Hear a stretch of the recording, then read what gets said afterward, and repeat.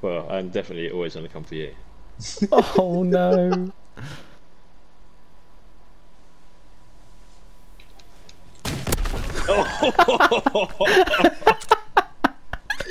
Jesus Christ!